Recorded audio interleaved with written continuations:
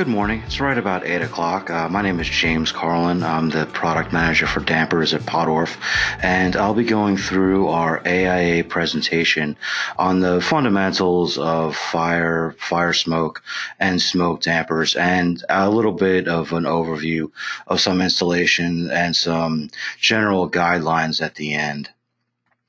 Just to start off, uh, Pottorff is a registered provider with the American Institute of Architects continuing education system. So you will be able to earn credit uh, on completion of this program. Uh, be sure to send in uh, either your AIA number or any uh, applicable information along with your email address so we can get those certificates sent off uh, to the right person in a timely fashion basically we're going to be going through the principles of fire and smoke dampers uh, combination fire smoke dampers fire dampers and individual smoke dampers. And basically, we're going to talk about the different types of fire smoke dampers um, and what's approved for different types of installations, um, and then some of the uh, performance and testing requirements, and then how they're installed into projects. We'll also talk a little bit about how um, some common questions that come up regarding installation and some general guidelines for that. And basically, to give a little bit of a background, these types of dampers uh, were put into the International Building Code in around 1994 uh, when the International Code Council uh, unified to create a standard code officiating body. So the BOCA, Southern Building Code, IBCO joined together to set up this code council that can get a standardized code. This helped engineers to have a universal code that they can use throughout the country so there weren't little nuances in different regions, which an engineer can get a whole a handle of once they're in their own region, but if they're, say, designing outside of a region, they may not be as versed in some of the local nuances. And to get around that and to get a standardized ver- version of the code, they, interna- they introduced the International Building Code, the International Mechanical Code, and the whole suite of international codes.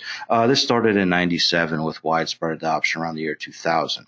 Now, what those international codes call out typically are both UL rated dampers and dampers that meet NFPA certific- specifications. Uh, one question that we do get a lot with NFPA is sometimes we're asked if there was a damper certified to say NFPA uh, 92A or NFPA 90A. And there is no such thing as an NFPA certification, but what the way it works is NFPA uh, sets up some type of UL certification or some type of standard for whatever product it is, where it's a fire door, um, uh, penetration of a duct, and it has to comply typically with UL standards. So as long as you test to UL standards, you can put a damper in the locations laid out in this diagram. Now, originally, what the what uh, the International Building Code and NFPA would do would specify where these dampers uh, need to exist. So originally most of the fire protection was done with fire dampers uh, but once they realized that smoke was a major factor for loss of life they started putting in different smoke dampers. And there's little changes to that. Um, now that the industry industry's caught up to those changes there are combination fire smoke dampers that are work as both um, but there are also some nuances for smoke dampers and mounting them that will help you get around an existing fire damper installation um, some other testing and listing agencies, one would be AMCA, um, and that's really an industry organization that sets some test standards uh, so manufacturers can uniformly, eva- uniformly evaluate their performance. So basically, uh, all manufacturers are certifying to a certain te- a set of test parameters uh, that help engineers evaluate different performance criteria. Now, fire dampers, um, typically the application is uh, required by building codes, so they're going to be different assemblies, fire rated assemblies um, that have a duct penetration that need to be protected. Uh, they still have to have their fire resistance. They have to close automatically when a fusible link reaches a certain point. Uh, typically, these are bimetallic fusible links, and I'll talk a little bit about them later. Um, they're around 165, and that set point is normally due to uh, closing within about 50 degrees of ambient temperature. Uh, but some higher degree fusible links are allowed if the ambient dump temperature will be higher.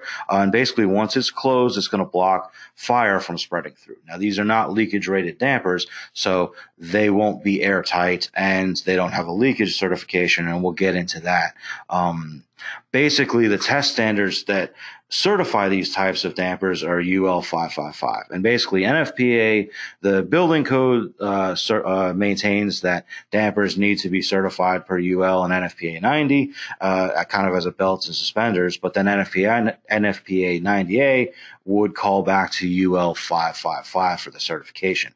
And that's why fire dampers, for the most part, are going to be certified through UL. Uh, now, they can be certified through other means, um, basically the same ASTM standards of uh, that UL uses to do their to run their fire test. Uh, but typically, the most industry-wide certification is going to be UL with their design guide and their fire resistance design guide.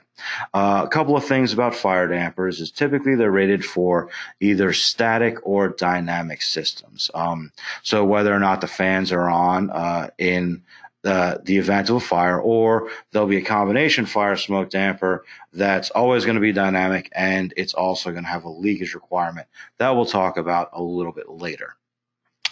For some of these test requirements for fire endurance, um, really the most stringent part typically not only is the fire endurance, but the hose stream that happens afterward.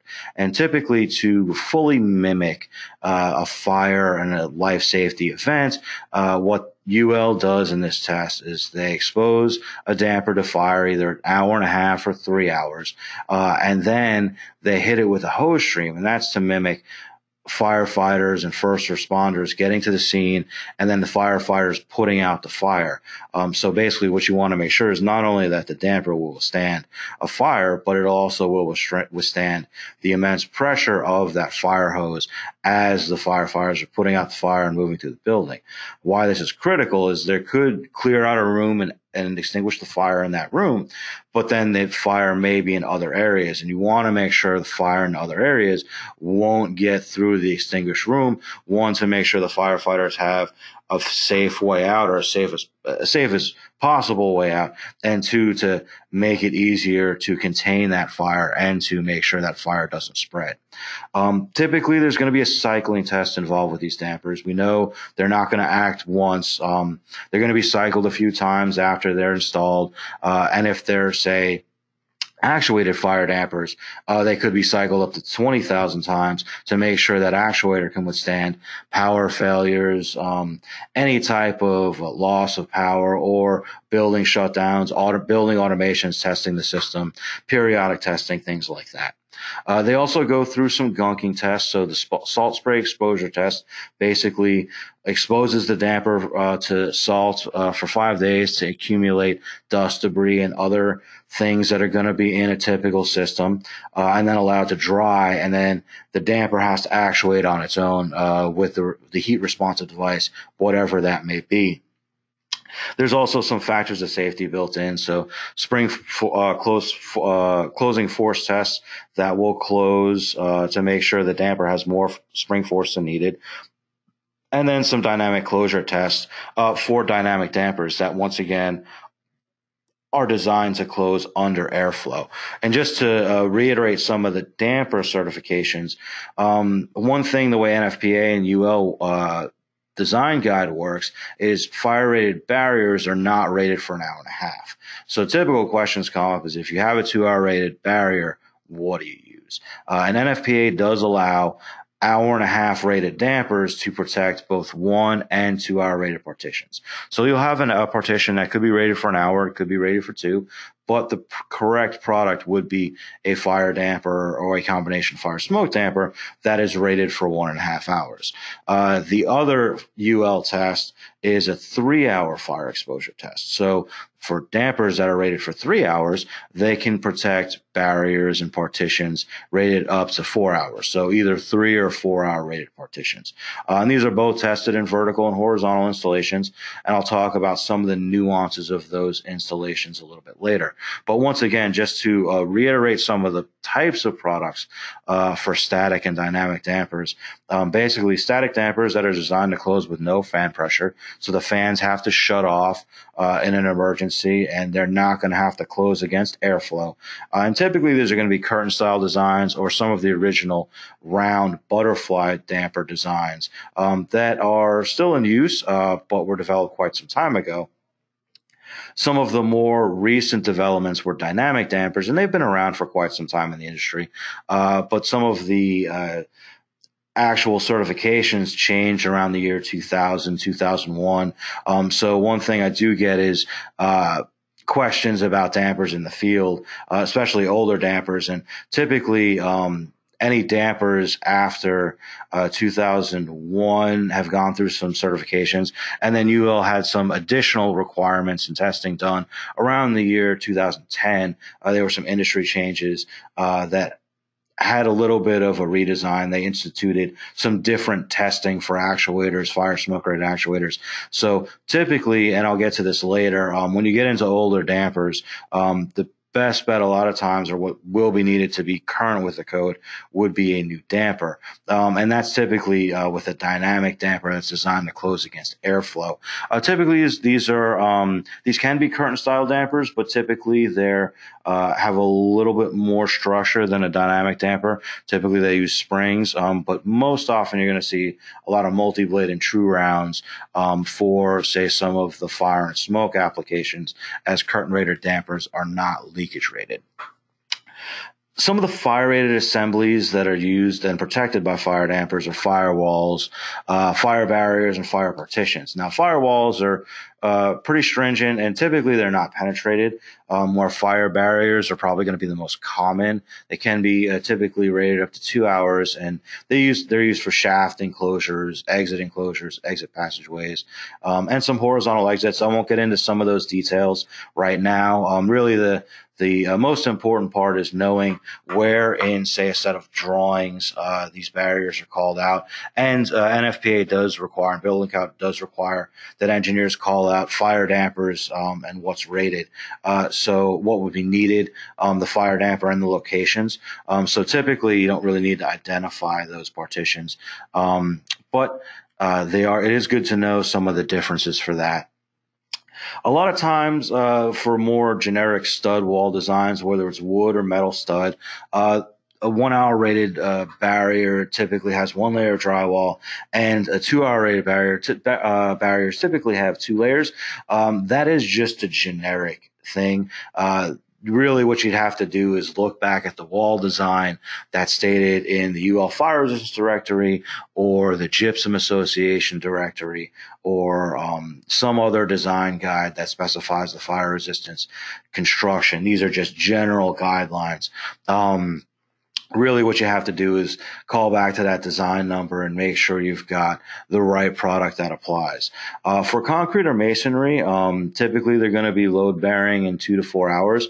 And one thing to note, and I'll uh, say it again later because it's something I like to reiterate, is for the wood and metal stud and drywall, that's typically for walls. Um, when you've got horizontal assemblies that are made out of wood, there's really no fire damper that can be used to protect a penetration in that floor ceiling assembly or that floor assembly.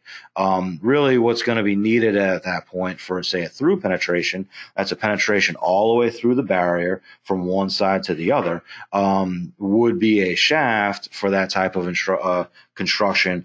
Or if you've got, say, a concrete or masonry floor, you can install a fire damper to protect that opening horizontally. Now, in a wall, they're all okay. And one thing to note, you always have to check back to the manufacturer's installation instructions as well as any supplemental instructions that may have additional information for installations such as framing instructions or sleeve terminations. And we'll get into sleeve terminations in a little bit.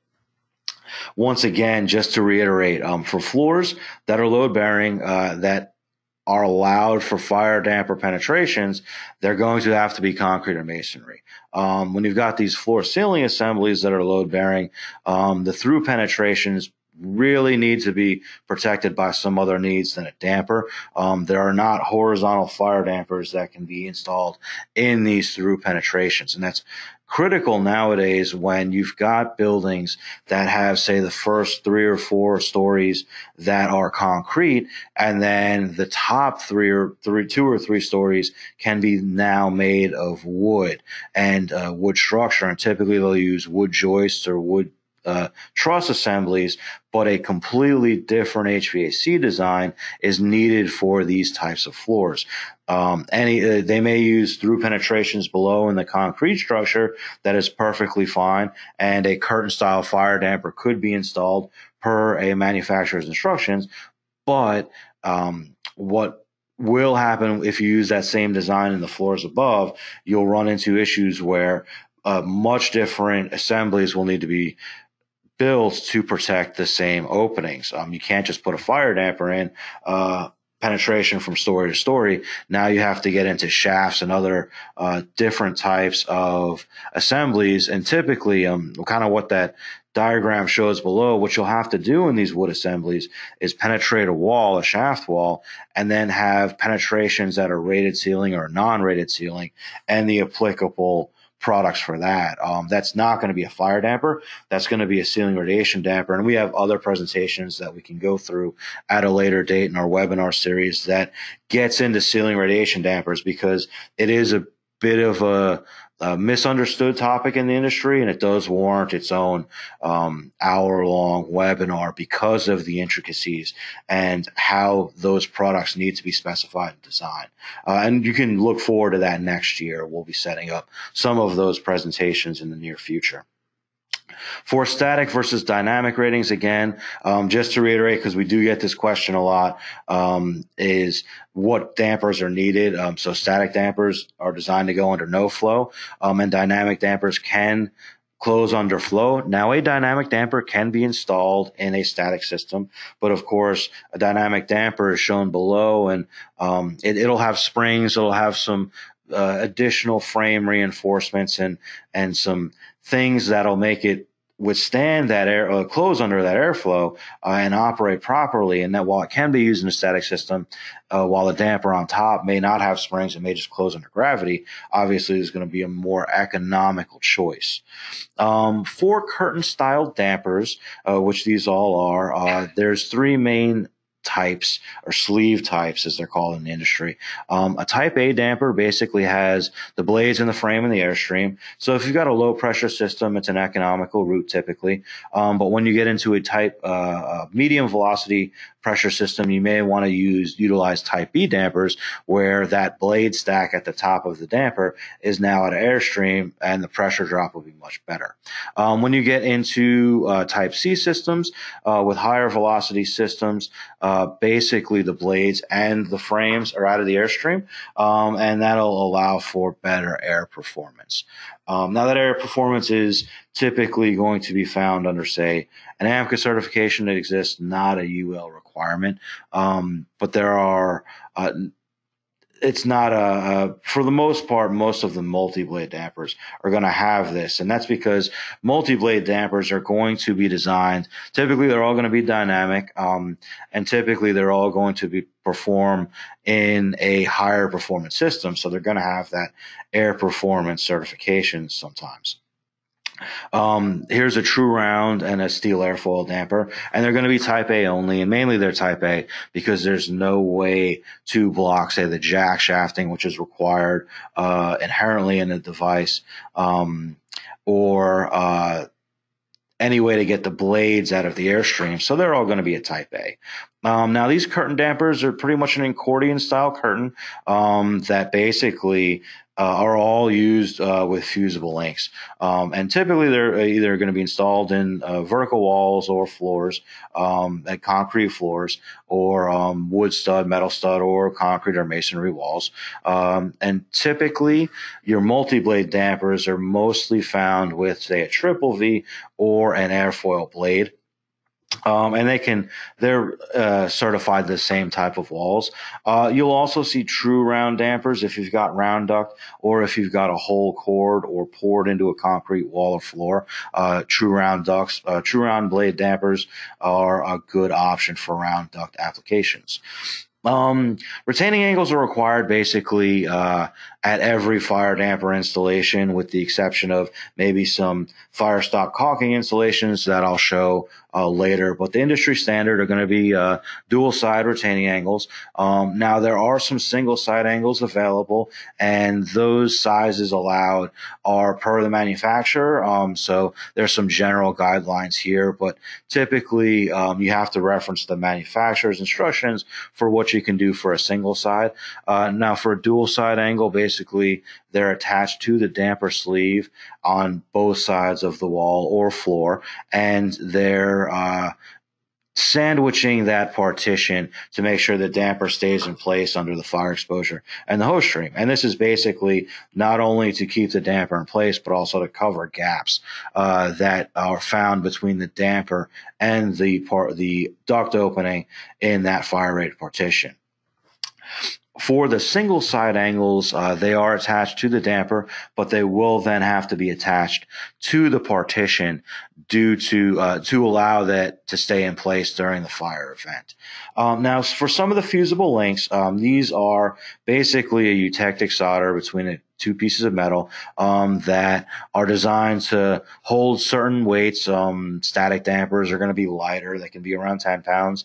Um, with dynamic dampers, with their with heavier duty springs, uh, needing springs that can withstand up to 50 pounds or more of force. Um, now, these are solder joints, so they do not go off at the exact specified temperature. Um, you could see uh, even in the hot summer in a shipping container um, in the south or southwest, uh, you could see some temperatures spiking at over 140 degrees. So with the high temperature shrink wrap, and the vibration of the truck, um, it could potentially happen that you could see some dampers fail prematurely, and typically that's not a defect in the fusible link. That's just uh, the nature of fusible links. They will close um, depending on the forces that they see potentially before the set point they're not they don't close exactly at the set point um, so because of that uh, if you do run into instances where um, there are some higher temperature, say duct heaters, um,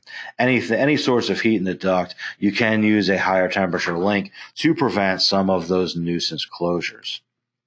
And here's just a couple of pictures of some fuse links installed. As you can see with the damper on the left, it's a much lighter uh, spring or much lighter fusible link because the damper does not have springs, where the damper on the right does have springs and needs a little bit heavier duty of a spring uh, and a link.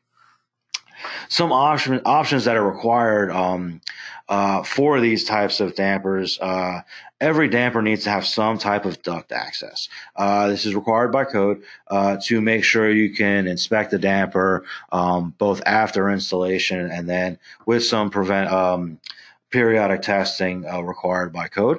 Um, so typically, um, each damper is going to have a sleeve, which is uh, got a six inch extension out of the wall, um, but it can be uh, 20 gauge or heavier depending on the size of the damper or uh, for rigid duct connections. Um, but you will, uh, as that access door shows, um, what you can do is put an access door uh, then in the ductwork to allow access to that damper. Um, the dampers are going to connect to duct with either different transitions um, or uh, slip joint type connections or TDC flanges. Um, and we'll get into that a little bit later, some of the different breakaway type connections and where they're used. Um, typically, the installations are going to be uh, vertical in walls. So this is uh, a little uh, cause for confusion because you've got horizontal duct, and sometimes the contractor calls out horizontal duct, but it, at that point it would be a vertical damper because it's penetrating a wall in the vertical plane. Um, whereas a vertical duct that's penetrating a floor or going through a shaft is going to uh, need a horizontal damper for uh, those concrete or masonry floors. Um, pretty much everything needs uh, retaining angles. And a couple of notes the damper does need to close within the wall or floor. Um, so basically, the middle of the damper blades have to close within that barrier at some point. Now, it does not need to be centered. Uh, we get that question a lot.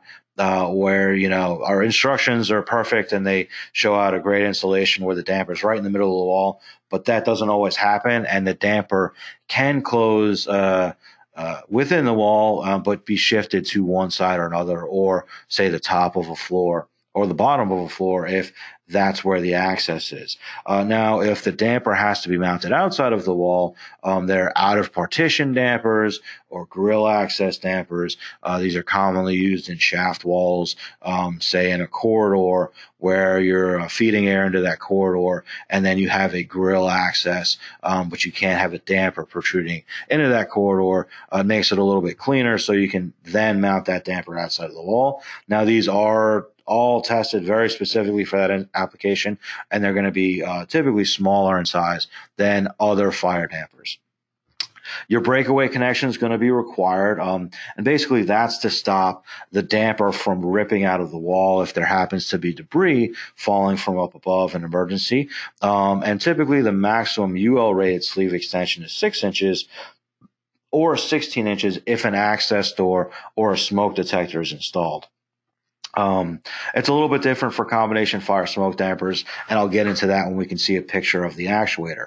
Um, now, for these duct connections, um, it can be just a raw connection like an A, a B, or a C, um, or you can get different ovals or flange type connections if you are using some of those flange type breakaway, or you're using that flange for, say, a slip and drive type connection. Uh, that's going to be set up for that moving into combination fire and smoke dampers, um, basically combination fire and smoke dampers are required wherever there's a fire rated barrier. So that barrier has a one, two, three, or four hour rating, and there is a leakage requirement. So there is. Uh, we'll talk a little bit about the different leakage classes in a bit, um, but basically, not only will it stop fire from spreading, it'll also stop smoke from spreading, which is uh, the biggest potential for loss of life is going to be through smoke spreading. So uh, there are a lot of applications, particularly in shaft walls or corridors, where fire smoke dampers or fire and smoke dampers are needed. Um, now, the most economical route a lot of times for this is going to be a fire and smoke damper compared to, say, a smoke and a fire damper. That's typically only uh, recommended when you've got a retrofit and you can't physically get that fire damper out of the wall, but it still can uh, be tested and still works through periodic testing some of the different standards um, for the combination fire smoke dampers on top of the UL 555 is the UL 555S certification. And basically, uh, that's going to have both a dynamic testing requirements as well as some leakage testing requirements. Um, so they're for smoke dampers and for combination fire smoke dampers. Um, smoke dampers don't need that fire rating, um, so they won't have some of the same installs, and we'll talk about that when we get to the smoke damper section. Um, now, the additional testing for UL555S is going to be some leakage testing, which typically starts at four inches of water um, and has uh, different uh, set of leakage allowances based on the class. And I've got that laid out a little clearer in uh, some other slides, so I won't get too into that. Um, but there's also some operations testing. So um, different dampers are designed to uh, close under different airflows. And as you increase that airflow, you're going to increase that. Uh, amount of torque that are needed. So typically what happens um, is larger actuators or potentially smaller sections will be needed when you get into uh, higher pressures and uh, velocities, flow ratings for these systems. Now, there are different temperature tests as well. Um, so we'll talk about passive and active smoke control systems in a little bit, um, but they may be rated to different temperatures. So the minimum temperature test for a smoke damper is going to be 250 degrees. Um, that makes sense. Uh, the airflow uh, in a in a fire uh, may not be up to say it's going to be above 165 it's going to be more than 50 degrees above ambient but it may not be above say 250 um, so you can start your testing at 250 uh, to make sure it can withstand and operate under those elevated temperatures. But um, if you get into some of these smoke control systems that are designed for higher performance and the fans are used to exhaust smoke they're going to see even higher temperatures. So those dampers may be certified up to uh, may need to be certified up to 350 degrees. Now, as you're increasing that temperature, you're also um, in effect increasing the effective flow rate uh, as you heat up that air. So these dampers do require a lot more torque when you get into these extended uh, temperatures. Um, now for cycling, um, some of the uh, cycling tests is the same as UL 555. Uh, say if a smoke damper is uh, all fire smoke, uh, combination fire smoke and smoke dampers are typically going to have an actuator on them.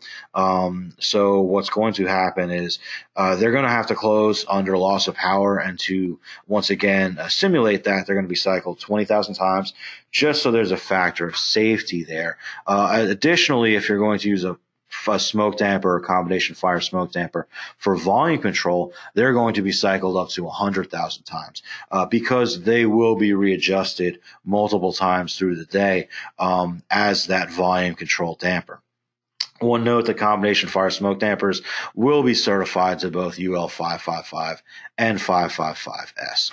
Uh, here's those leakage and airflow temperatures uh, airflow and temperature ratings uh, laid out. Basically, uh, when these tests were, were started, building code allowed class three dampers. That's going to be the most leakage. Um, it has since been amended. Uh, the minimum leakage class for uh, per the International Building Code is going to be a class two. Um, but now there are some jurisdictions that do require a class one, and in some of these higher performance systems, some engineers do specify the class one to have the lowest uh, leakage rating possible. But now, uh, currently, the uh, minimum leakage class is class two.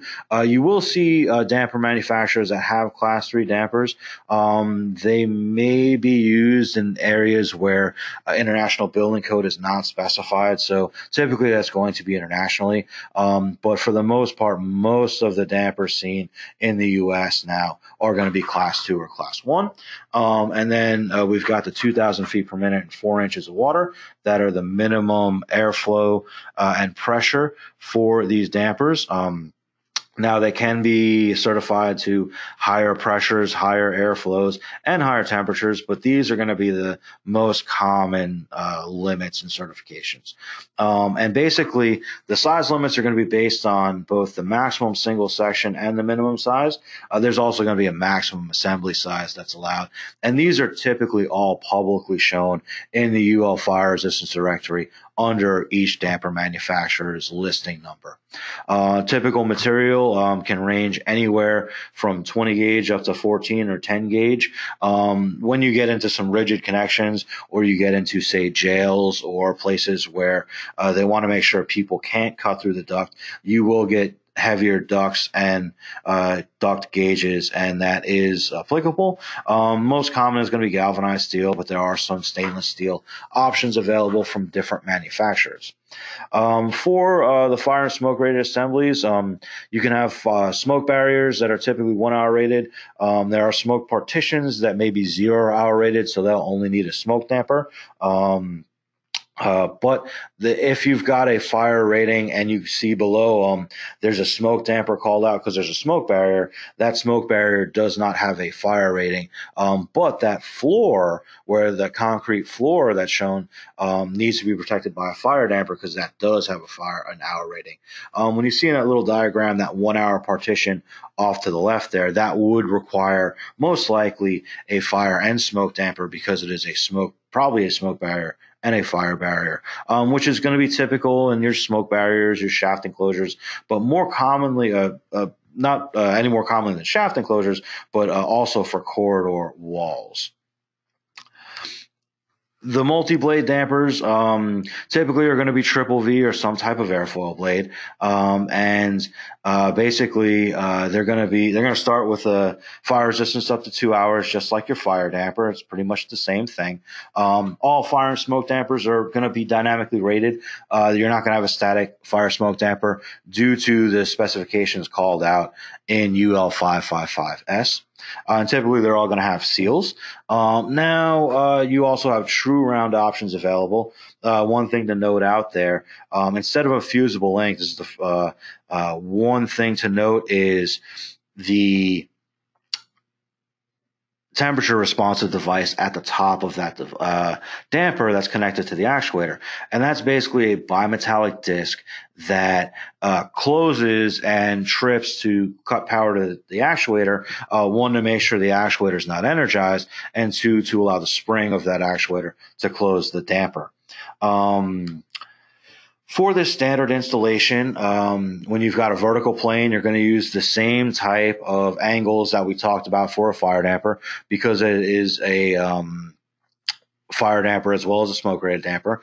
Um, now, when you do get into horizontal planes, um, you can uh, basically do the same type of installation as a fire damper as well. Um, but one common thing a lot of manufacturers have is single side angles. Now, one question we get a lot that I like to point out with this installation is with the single side angles in a floor, can you use them on the bottom of the assembly? And typically uh, that's not going to be allowed. Most of the time that is that those angles have to be on top of the partition if you want to use single side angles for a horizontal installation now, one thing to note um, for the sleeve extensions outside of the wall, uh, the six the six inch standard typically applies to the non jack shaft side of the damper. Um, the 16 inch requirement uh, or the 16 inch allowance uh, is allowed for any combination fire smoke dampers that ha- or a fire damper that has an actuator. Um, and you're going to have to reference the manufacturer's instructions to verify that for all of your installs. But that is typically a UL standard. Now, uh, combination fire smoke dampers and fire dampers will all have some type of sleeve duct connection. Um, this is when I like to talk about some of these breakaway or rigid connections. Uh, some of the no, uh, original UL approved uh, connections are uh, S type uh, breakaway connections, um, but there are some different flange type breakaway connections as well. Um, most of these are pretty well controlled by UL, but you will have to look at each manufacturer's instructions to reference anything specific. The S type, um, these S type flange, uh, uh, or these S type hems, excuse me, installs and breakaway connections are pretty industry standard, um, and the slip and drive connections are in the UL standards. Um, now, UL will certify some of these different flange type connections like Ductmate, ward, or nexus, um, but you will have to reference those manufacturer's instructions for any specific guidelines, as well as reference a, a damper manufacturer's instructions uh, to show what will be allowed. One other type of breakaway connection uh, can be a damper sleeve with a collar. And at that point, the duct connection and the breakaway point is dictated typically by the number of fasteners used to attach that collar to the duct. Um, what, with that collar typically being considered part of the damper sleeve. For passive smoke control systems, these are going to be some of the original smoke control systems that I've seen in the industry. And basically, the fans shut down, uh, and basically, this, the building works with compartmentalization and containment to stop fire and smoke from spreading. Um, and basically, there'll be um, a passive barrier for the smoke. They're not using fan power to exhaust fan out, and they're not using fan fa- fan power to pressurize non-affected areas. Uh, these were the first and probably most common smoke control systems. But now uh, we're getting into some active smoke control systems uh, or engineered smoke control. Uh, and basically, these use pressurization and exhaust uh, to uh, keep the building safe from loss of life. And basically, smoke will be trapped uh, by being pressurized in effective areas. Uh, and then in the fire zone, um, they'll try to exhaust smoke out as much as possible while keeping uh, areas outside of the fire zone uh, supplied with clean air um, to keep it overly pressurized. And here's a diagram of that. Basically, you've got in the middle of that building, you've got a fire event. And what they do is they close off the air supplies and open up the returns, and that'll act as an exhaust and create a low pressure area. That low pressure area uh, will then be augmented by some high pressure areas around the fire where they open up the supply and close off the exhaust. Now, this does two things. This basically creates a little bit of pressure um, to, as the building degrades due to the fire, there are going to be cracks and things in these smoke rated barriers, and smoke could potentially get through. So, with this active smoke control system, you've got an added protection while you're exhausting that smoke in the non affected areas once you get into smoke dampers, basically smoke dampers are um, used in areas that are not either fire rated. So if you've got a barrier that doesn't have a fire rating, it won't stand up to that fire resistance, but it may be a leakage rated barrier. Um, say in hospitals, you see these a lot where they've got uh, maximum allowed smoke zones. And uh, if you get outside uh, larger than those areas, you'll have to put up a smoke barrier um, where there may not be any other barriers present. Uh, basically for these applications, or if you've got an application where you've got a fire damper protecting a fire barrier that's been reclassified as a smoke barrier, you can use a smoke damper. And the main thing for the smoke dampers is they don't have a temperature responsive device. So they are either tied into a smoke detector locally or tied into an alarm system and it can be tro- controlled that way to stop the spread of smoke. And we'll go back to this diagram once again, um, showing combination fire smokes, fire dampers, and smoke bar- uh, smoke dampers. And as you can see, um, where those FSDs were called out, you may be in a building where, uh, say in those shafts, uh, they have existing fire dampers. You can now install a smoke damper uh, within 24 inches of that barrier and maintain the smoke rating of that barrier. And this kind of shows that. Um, so basically, you've got no openings between the barrier and the damper, and you've got that smoke damper in the duct. Um, you're going to want to use some type of silicone sealant or caulking that'll protect the barrier and the damper once it's installed. Now, one thing to note: there are no retaining angles required for these. Uh, they will need to be supported um, by additional structure, as they're not going to be using the wall for support or the fire barrier for support, and the framing required for that. Um, but uh, uh, typically, that'll be up to the building designers, um, and they they can be installed vertically or horizontally um, as uh, application sees fit. Now we're going to get into some general uh, guidelines and questions that come up. Uh, some general questions about dampers. Um, as I noted uh, before, um, damper access is needed. Uh, so there is going to be some testing required by local code and applicable NFPA specifications. Um, and these uh, basically require access to all damper locations for inspection and testing. Now, that inspection has to be done after the damper is installed for commissioning of the building, um, but there is going to be some periodic schedule set up and required based on the different building types um, uh, so you pretty much have to reference that uh, for the maintenance. But to do that, there's going to have to be some type of access, and that'll have to be done either through access doors or some removable portion of ductwork. Typically, for installation tips, um, you have to, I can't specify this enough, you have to be very uh, com- uh, confident with the installation instructions. Um, they're going to be different allowances per manufacturer. Um, the spacing shown there may be generic, um, so you probably want to reference the different manufacturers' instructions for what's allowed. Um, this is just some generic guidelines. Um, now, uh, with say the overlap of the angles um, or the fastener spacing. Um, some may be more, some may be less, depending on the type of damper uh, and uh, the different certifications per each manufacturer.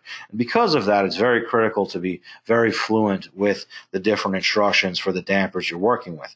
Um, but some general guidelines, uh, you want to make sure the damper is free of foreign objects. Um, uh, shipping damage happens all the time. It is uh, something that you're going to run into with every manufacturer, and things do happen on the job site. So uh, you want to make sure that the damper is not damaged before install. Um, the jack shaft's not bent or misaligned. Uh, it could even be ripped out of the assembly. So you want to make sure that there is no damage before you go through and install dampers. Um, you want to make sure the damper's not racked. Uh, and one critical thing is making sure you don't screw into the damper linkage, which will stop the damper from operating. Um, you can screw into the damper linkage or you can screw into the frame of a curtain style damper that could stop that damper from operating correctly. Uh, now, uh, you will have to cycle the damper after installation to meet these NFPA requirements. So typically it's very good. It's good practice um, say for motorized dampers, to have some type of way to power the damper to make sure it closes under its own actuator power. Uh, and I'll get into that a little bit later for some uh, what's locally accepted uh, and what's not accepted and what would, would need local approval. But before that, there are some new uh, designs in the industry that I'd like to talk about. Uh, now, I talked about no dampers being installed horizontally in wood or metal stud openings or floor ceiling assemblies. Um, now, those are typically going to be load bearing uh, floor ceiling assemblies, but there is a UL Design I503 that's relatively new. It's a pretty restrictive, heavier duty metal stud type of barrier that was originally designed for the tops and bottoms of shafts. And basically, uh, because of the tops and bottoms of shafts, uh, do will require some type of installation. What uh, what you're going to run into is if you want to protect that horizontal penetration, you're either going to have to run the shaft all the way to the floor, all the way to the ceiling, and then penetrate it through the sidewall. Or with this new design, you can and the shaft with this assembly and then install a, fire damper or fire smoke damper horizontally. Um, now you will have to look up this design number to see what manufacturers are approved, uh, and of course look at the manufacturer specific installation instruction because uh, that's really going to be the only way you'll get a full picture as to how these dampers are used. But it is an option, a horizontal option that's relatively new to the industry. Uh, some additional uh, installations uh, that manufacturers have are three-sided angle installations, and basically there are some uh, applications where a damper may be tied to a ceiling or a wall or a floor, and you can't use a traditional type of mounting angle. So what you'll have to do is go to each damper manufacturer and see if they have a UL instruction approved for this type of installation, um, and then you may be able to remove the mounting angle on one side or more sides of the damper, depending on the manufacturer, and use fire stop caulk. But typically, the most common is going to be uh, most common practice is going to be removing the angle from one side and having uh, the traditional mounting angles on the three remaining sides. Another common uh, modification that happens is uh, sleeve extension. Now, um, it may not be known how uh, thick the fire rated barrier is, the depth of the wall, or um, where that damper may need to be located. And uh, the factory supplied sleeve may not be long enough to connect the duct uh, in that instance. And what happens is uh, a sleeve extension is needed. And typically, uh, UL certifies these instructions and they require that the sleeve extension have fasteners outside of the fire rated barrier. Now, what that typically means is you can either have an extension where um, the existing sleeve connect reaches all the way through the barrier, uh, but um, it needs a some type of extension. So you just connect a sleeve extension to uh, that end of the damper. Um, now the same requirements still apply: the 16 inch max, say on an actuator side, or if you've got an access door, or the six inch max um, if you've got uh, no access door and it's a non-actuated side of the damper. Now, uh, you could run into an issue where the sleeve doesn't reach all the way through the partition. And in that case, you're going to need to use a sleeve extension that goes all the way through the partition and connects to the factory sleeve outside of that damper. And that's where the diagram on the right comes into play. Um, now, one other thing to note, the damper, the final location of the damper does not to be centered in the partition. Um, it can be uh, shifted to one side or the other, but you do have to make sure that the blades do close in that rated partition. Some other modifications that you may run into uh, that are typically uh, needed um, could be uh, cutting or trimming the, the damper sleeve. And basically, um, a couple of common things where you're cutting or trimming into the damper sleeve could be to run uh, net the, any necessary electrical wiring or pneumatic tubing to um, indication switches or internally mounted actuators, especially if you're using, say, an out of partition damper. Um, and that is typically allowed. Um, you have to check the manufacturer's instructions for that or check with the specific manufacturer. But a lot of times UL will allow um, holes to be drilled in and cut into sleeves if necessary to run uh, the specific uh, electrical or pneumatic tubing to the actuators. Now, things to note, the hole should be as small as possible, um, but typically there aren't a lot of guidelines around that. Uh, and all wiring must meet local codes. So what happens a lot of times um, is inspectors may require a junction box be added to the sleeve at that point to meet local uh, electrical code. Now, that's going to be different per region, so you may want to know that in advance before cutting some of these holes into a sleeve. Um, now, different manufacturers, and this would be specific to the manufacturer, may allow some trimming uh, due to field conditions. And typically, if sleeves are allowed to be trimmed, they cannot affect actuators, linkages, or any other factory supplied electrical mechanical components. So typically, this is only going to be allowed if you're cutting away a small portion of the sleeve to fit up the ductwork. Um, if you're completely cutting a sleeve away, um, you may get into some modifications that are outside these manufacturers' guidelines.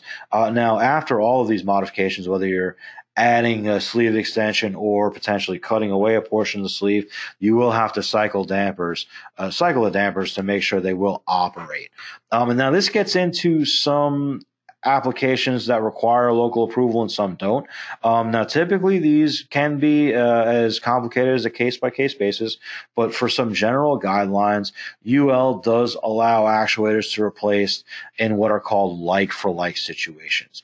Now, one of the things here is it has to be a factory certified technician. So most of the time, that is someone from a manufacturer has to come out to do these modifications to make sure that the damper will meet the UL certification once the modifications are done.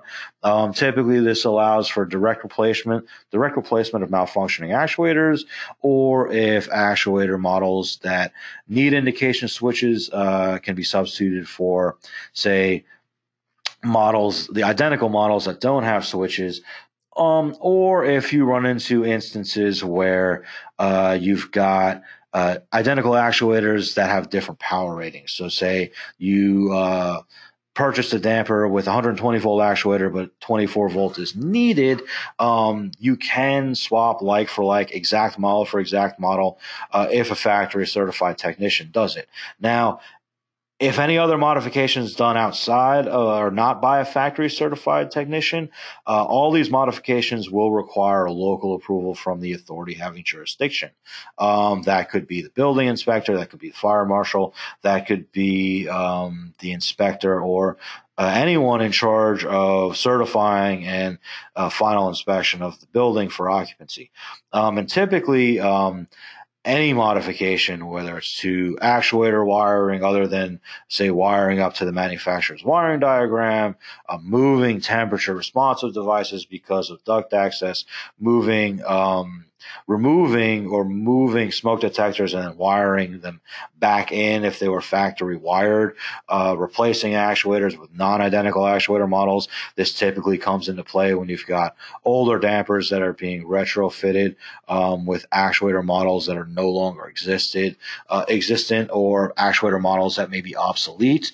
Um, and typically what's going to happen for those is there should be a log of modifications that's filled out and that's kept with the file for the building, uh, and the uh, contractor, whoever's doing the work, will need to work with the AHJ to make sur- make sure that the damper is acceptable. Uh, the AHJ will sign off on that, and that record stays with the building to make sure uh, there's a clear record of what's done. Uh, typically, after these modifications, uh, there's going to be some cycling needed. Um, to make sure that the damper will still operate as intended. And typically that needs to be witnessed by the authority having jurisdiction. that pretty much concludes everything. I know that was a lot of information. I know um, not everyone may have been able to uh, get uh, all their questions answered. So basically, if you've got any additional questions, you can respond to this e- uh, the email uh, from this, or you can respond to me directly. My email address address is jcarlin. That's J C A R L I N at Pottorff dot com. Uh, and it's in the chat box below as well. Uh, and you can certainly reach out to me or reach out to anyone directly if you've got any additional information. Thank you for. Uh, joining us for this webinar this morning. And once again, if you need some credit, uh, some CE credit, feel free to reach out to us with your AIA number or any other information in your email, and we will get those credits out as soon as possible. Thank you and have a good day.